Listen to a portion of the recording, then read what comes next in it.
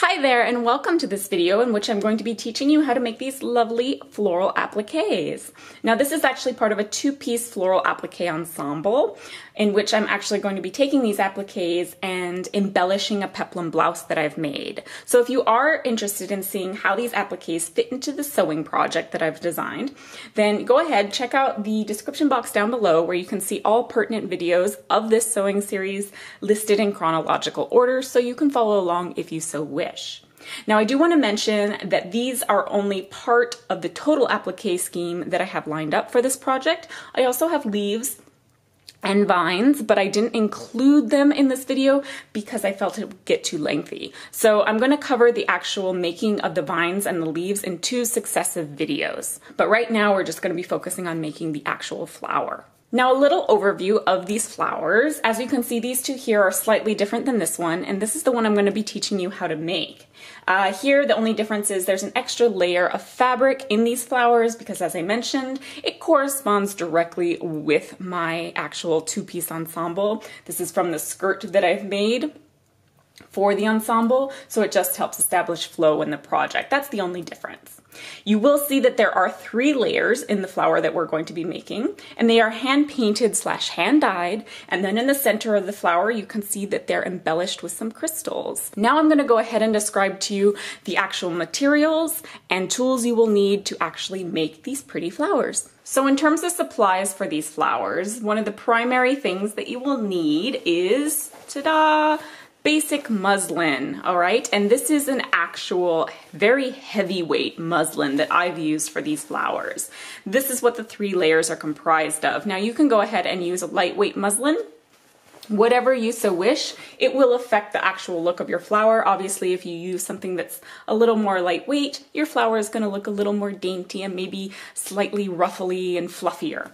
So that's all up to you. Then in terms of how we're going to actually put the color onto the flower, we're going to be using fabric markers. Now you can use dye or whatever is easiest for you, but I particularly like these markers. These are called Tee Juice markers, and I believe I got them from a company called Dharma Trading Company. I will put the link in the description bar down below.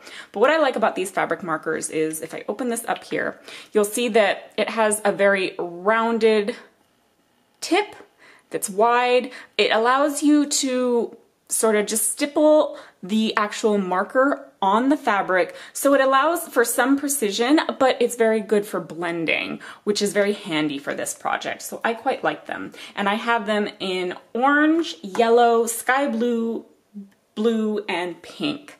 So that's what I had to work with. Then if you want to get a little more fancy with the actual look of your flowers, you can see how there's sort of striations in the flower, which I've actually sort of painted in a way. Now, typically you would probably want uh, some painter's tools for this project. I didn't have any, so everything I have in terms of tools is a bit makeshift. So I actually have some baking tools right here that usually you would sculpt icing or what have you with.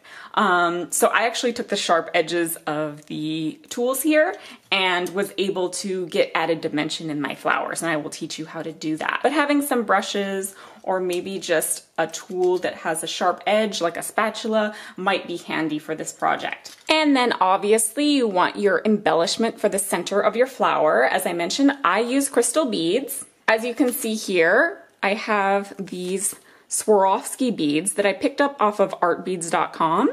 And I like artbeads.com because they frequently have sales. And these are three millimeters. Now that's a very small bead to be working with. So you can obviously order larger beads if you want to do crystals if you want a bolder effect, but they do get more expensive the bigger the crystal, right? So that's something to consider. The other thing is if you are going to be using particularly small beads, you'll more than likely need a special needle to actually fit through these beads. So I'm gonna show you what that looks like here. Here I have an English beading needle size 12, okay? And that should work beautifully for this project. Uh, it's very, very thin and tiny, and the eye of the needle is extraordinarily narrow and difficult to thread, but working with these small beads, it's something you will need if you decide to use the small beads. You'll also see that I have a bit of very clear transparent thread hanging out here.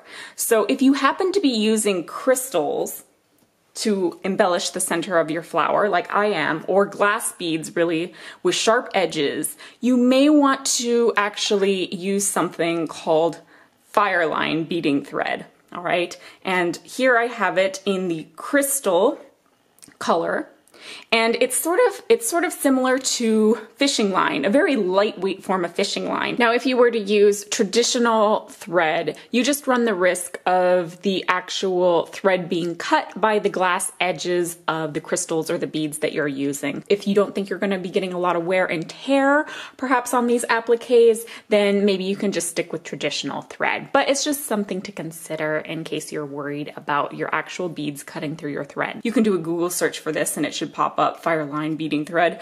Um, I got mine off eBay and I got it in the four pound variety and it works great for this project. So this thread and the needle for the crystal embellishment might be something that you might want to purchase. So that's pretty much it in terms of materials other than things like you're gonna need your scissors to cut the fabric and obviously you'll want some thread to actually adhere the layers together and gather the flowers into that cup-like shape. So I actually, because I'm using heavyweight muslin, I'm using very heavy thread and a larger needle to do that. So that is also something to keep in mind if you happen to be using a very heavyweight fabric. So that's about it. Now we can begin the actual tutorial. I did forget to mention that you actually might want to protect your work surface as well. So I've gone ahead and laid down a layer of some saran wrap just so I don't get my kitchen counters all mucky and gucky. We're going to begin with an actual square of fabric. Now, this is going to, the dimensions of the square are going to largely depend on what you're going for. I would say start with a very large square. We are going to be trimming this for our flowers, so it is going to get smaller. So what you wanna do, I would say, is start with the largest layer of your flower. So if you want a large flower, maybe you want to start with something that's five, six inches, you know? Um, and because then we're going to actually build the flower and create successively smaller squares. So this one here is four inches by four inches. So maybe my next square of fabric that I will place on top of this is going to be three and a half by three and a half. And then the next one, maybe three by three. So something like that. Um, so this isn't going to wind up as being too big of a flower once I get done with it because as I mentioned, we're going to trim this uh, square into a flower shape. So in order to do that, we're gonna do some fancy folding and you can create whatever flower shape you wish, but this is just sort of a quick way to do it. So I'm just gonna take the square and fold it in half, corner to corner, diagonal fold. It doesn't have to be super precise at all. And then I'm just gonna take one corner, one of those diagonal corners, and I'm gonna fold it up like so. I feel like this is origami. it's just going to extend that tip of the diagonal is going to extend just a bit past this main peak that we've created here, okay? And then you're gonna do the same thing with the other side. Try and line it up such that the edges are even over here and it'll kind of look like an arrowhead. I don't know the best the best description for that. A bit like an arrowhead. And then after you have that, you'll just fold it down the center like so. All right? And now what you're gonna do is you're just gonna go on this end, this very jaggedy end, the arrowhead end, and you're going to actually cut a circular shape. All right, and then when you open it up, you have your little flower shape. So there is our first layer of our flower. And here we have the second layer of my flower. The square is measuring about three and a half inches by three and a half inches. And I'm just going to do the same thing that I did with my base layer.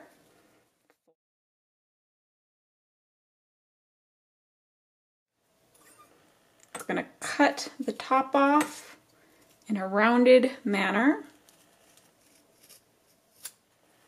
So here's our second layer of our flower that's gonna go right on top of our first, like so. And you can really see how they fit nicely together. And here's my last layer of my flower, the smallest one, which is three inches by three inches.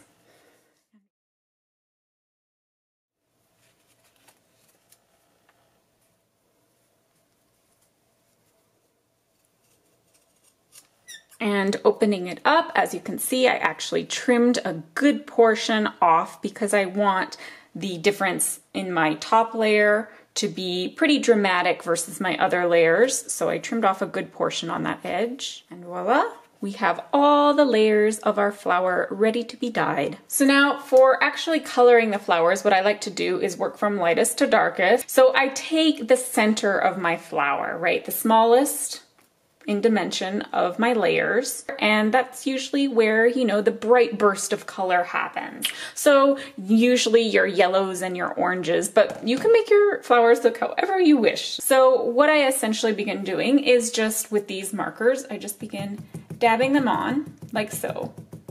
Okay? And you don't need to have a really regular pattern. That's what's great about this. And then as I mentioned for me because I don't have any brush tools or anything. Uh, I use my makeshift baking tools. And while the, the, the marker is still wet, I'm able to actually take the marker out a bit like that, okay? Then generally what you're gonna wanna do is you're gonna wanna wait for that to dry. That can take a long time depending on how much you stippled on, right? So impatient Asia here, I usually just start my next color. I'm going to go ahead and go in with some orange uh, because if these do end up bleeding together, it's a safe bet that actually the color is not going to look bad. It's going to be a nice transition actually. So what I like to do then is I actually like to go around the very edge of the flower and I like to put a deep border, okay, right on that edge. Like that, see, it can be pretty irregular. I think the more irregular you make this actually, the cooler it can become. I'm gonna go ahead with my little tool here and I'm going to start pulling that marker a bit into the center of the flower. And what can also help is if actually you just take your tool, dip it in there. This actually would work really great if I had a brush, as I mentioned.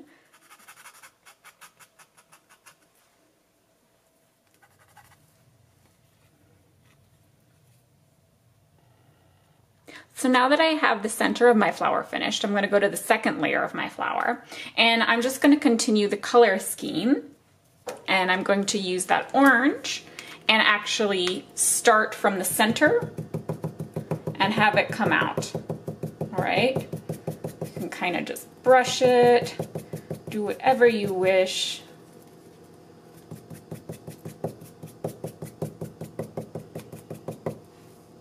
Now I'm just gonna do what I did on the first flower, and I have so much fabric marker that I placed in the center there that you can see how when I start sweeping it out from the center, it really makes this pretty fan-like shape.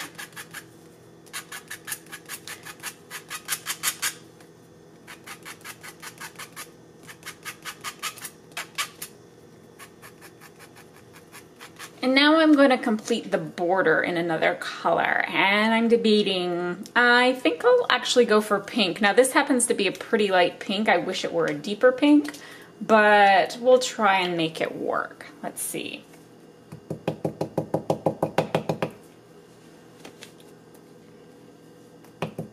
I'm gonna go ahead and I'm going to, once again, bring a lot of that fabric marker toward the interior of the flower. What I'm doing is taking the sharp end of my tool here. This is the one thing that I actually see maybe sharp sculpting tools being good for this is because you can actually sort of remove some of that marker that you've laid down. I don't know if you can see this, but it literally pushes it aside and you can get these fine tip striations right here. And I really think that contributes to the overall look of the flower when you look at it up close. And now we come to our base of the flower, the biggest layer of our flower. And I'm just gonna go ahead and continue because I did a pink border here. Once again, I'm gonna start at the center of my largest flower and continue that color scheme. And this time, as you can see, I'm really just making the entire flower pink. And now I've just done what I've been doing is taking my sharp edge tool and really inserting those fine tip striations. And now if you want to add more dimension to your flowers, what you can do is wait for your first layer of dye to dry and then go back over and do some more detailing. So for instance, this is the center of my flower. I want to actually fill it out a bit more like these two flowers. So now that I've amped up the intensity, especially on the center of my flower, you know, you can go back and really layer those fabric markers to build up the intensity, to build up the realism. And then what I would recommend is once everything dries, you'll see that I've done this already on the backside of the flower here, I've gone ahead and filled it in with some color. And you'll probably want to do that on all layers of your flower, just because once we actually gather the flower layers together, they may pop up such that the reverse side is visible. So as I mentioned, wait for the top side to dry and then maybe fill in a little color on the back side. So now that our flower layers are dry, you can go ahead and assemble them as you wish. And we're going to actually adhere them together with some thread. And at the same time, we're gonna gather the flower at its center so it creates that cup-like shape that you would see in nature. So what I've done here is I've just taken some rather thick thread and because I'm using a very heavyweight muslin fabric, I'm using a very heavy duty thread, which is actually buttonhole thread. and it's thread that also happens to match the garment I'm making. So there's that. Um, but typically you would probably want to use thread that matches your flower all right? So what I've done is I've just threaded my needle and I've left the end unknotted because I'm gonna actually use that as a tail to gather. So I'm just leaving that there. And then I'm actually stitching a concentric ring right at the center. So just doing this, hopefully you'll be able to see. It doesn't have to be really accurate or anything at all. Especially if you're using very thick fabric, you don't want a lot of stitches there because it's gonna be too tight to gather.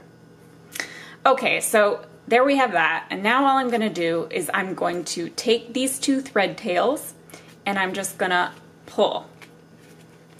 Pull as hard as I can. Now I'm just gonna secure it by making a very tight knot at the back. Okay, so I've double knotted that back there, made it nice and secure. And then you can see from the front, mm, see, even though I had green thread, it's really not visible because we pulled it so taut, but it really creates that sort of floral shape. And you can sort of play with this and spread the flower out a bit. And then the last thing to do, obviously, just gonna snip these threads. We're gonna end up sewing that down, so that's not gonna matter much what is back there. Now we come to the crystal embellishment phase. Yay, fun. So what you'll do is you'll thread your tiny little needle if you happen to be using tiny little beads with your thread or your Fireline. And then you'll obviously knot the end of your thread right there. So now we're just gonna actually take this needle and if you are using the English size 12 needle it is very delicate. So if you happen to be working your way through very thick muslin with it be gentle with it. Kind of maneuver it on through because it is a super delicate needle. So I'm just gonna go right up in the center between my stitching. Just like that you can see my needle coming up gonna pull that on through so all I'm gonna do is I'm gonna take about five crystals on my needle. So there are my five crystals and I'm just gonna string them on down just like so. Okay, and then I'm just gonna go right back down through the center of my flower, very close to where I came up. And pull that on through. And as you can see, it creates a little loop of crystals, just like that. So I've knotted off my first crystal loop in the back, and then I'm just going to do the same thing. I'm going to go right back up through the center. Now I'm going to begin a new crystal loop using five crystal beads once again on my needle. So there are two crystal bead loops and now I'm gonna go ahead and add a third right up through that center again and making a loop with my beads and going right back down. And there we have our embellished crystal center, twinkle twinkle. And now I'm just gonna go ahead, and tie off the thread in the back and our flower will be complete. And of course you can make as many of these as big or as small as you want with as many crystals or as few crystals as you want and use them to embellish whatever you wish. Thank you for joining me and I'll see you soon for when I'll be teaching you how to make the leaves and vines to accompany these pretty little flowers. Bye-bye.